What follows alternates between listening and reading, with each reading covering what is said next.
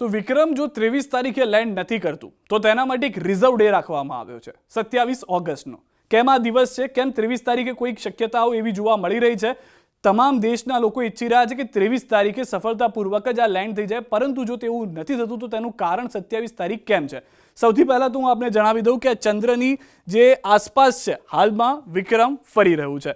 ગોળ ગોળ ફરી રહ્યું છે, પચીસ બાય સોની ત્રિજ્યા જે છે, કિલોમીટરની, તે પ્રમાણે ચંદ્રની આસપાસ હાલમાં આ વિક્રમને ફરતું આપ જોઈ રહ્યા છો. બીજી એક મહત્વની વાત, જે નક્કી કરવામાં આવેલી જગ્યા છે, તે અહીંયા આગળ છે. જે ત્રણ અને સુડતાલીસે આ જે જગ્યા જે છે, તે ઈસરો વિક્રમને પહોંચાડી દેશે. ઈસરો વિક્રમને કહી દેશે, જે સોફ્ટવેર છે તેની મદદથી જે તેના જગ્યાના માપ છે તે પ્રમાણે, કે તારે અહીંયા આગળ લેન્ડ થવાનું છે. સરળ ભાષામાં, તારે અહીંયા આગળ ઉતરવાનું છે. જેવું જ ત્રણ સુડતાલીસનો એ સમય થઈ જશે, ત્યારબાદ વિક્રમ ખુદ જાતે નિર્ણય કરવાનું શરૂ કરશે. પછી શું થશે તે અમે આપણે જણાવી રહ્યા છે.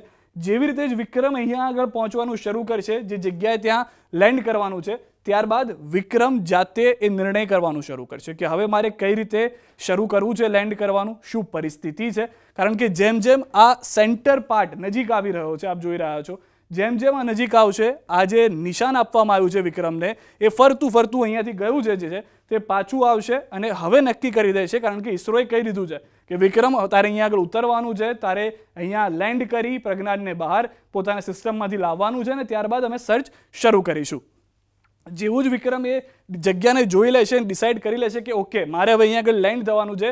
વિક્રમ પોતાની સિસ્ટમ શરૂ કરી દેશે. આપ જો જેની ઝડપ હતી તેમાં તે ઘટાડો કરી દેશે. અને ધીમે ધીમે એવી પરિસ્થિતિમાં તે આવવા લાગશે, જે વિક્રમ જે છે કે અહીંયા આગળ જે લેન્ડિંગ એની સ્પેસ નક્કી કરવામાં આવી છે કે, ભાઈ, આ તારી જગ્યા તારે અહીંયા ઉતરવાનું છે.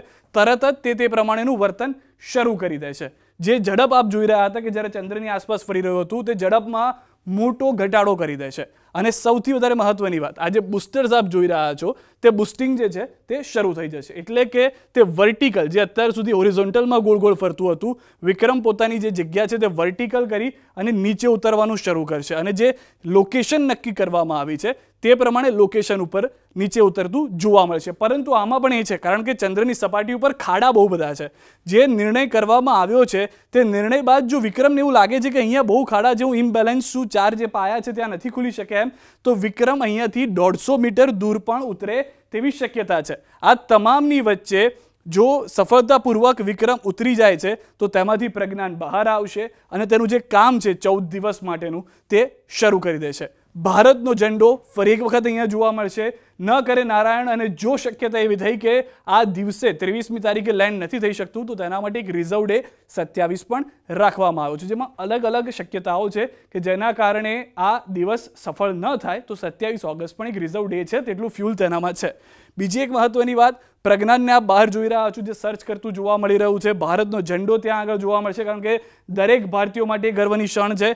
પરંતુ આ તમામની વચ્ચે જો આ પ્રજ્ઞાન અથવા તો વિક્રમ જે છે કે એ આડું થઈ જાય છે અથવા તેમાં કોઈ કમી આવી જાય છે અને તે પોતાના જે સેન્સર્સ છે તેની એક્ટિવિટી સમજીને બરોબર વર્ટિકલ લેન્ડ નથી કરી શકતું, તો તેની અંદર એટલું ફ્યુલ રાખવામાં આવ્યું છે કે આડું પડેલું વિક્રમ ફરી એક વખત ઊભું થઈ શકે. જે ચંદ્રયાન ટુમાં ભૂલ કરી હતી, તે ભૂલ ફરી એક વખત ન કરી ચંદ્રયાન ત્રણમાં સુધારો કરવામાં આવ્યો છે, જેથી આ મિશન સક્સેસફુલ રહે. તો આ રીતની પરિસ્થિતિ દરેક ભારતીયો માટે ગર્વની ક્ષણ ભારતીયો માટે તે માટે પણ ગર્વની ક્ષણ છે, કારણ કે આ તમામે તમામ જે વસ્તુ આપ જોઈ રહ્યા છો કે જેમાં વિક્રમ લેન્ડર હોય, પ્રજ્ઞાન હોય, તમામે તમામ વસ્તુ ઇસરોના વૈજ્ઞાનિકોએ જાતે બનાવી, જાતે ઉપજ કરી અને ત્યારબાદ ત્યાં આગળ સફળતાપૂર્વક મોકલ્યું છે ને એ વાત મારે તમને ફરી એક કહેવાની જરૂર નથી કે આ કોઈ પણ હોલિવૂડની ફિલ્મ કરતાં પણ ઓછા ખર્ચામાં પૂર્ણ કરવામાં આવી રહ્યું છે.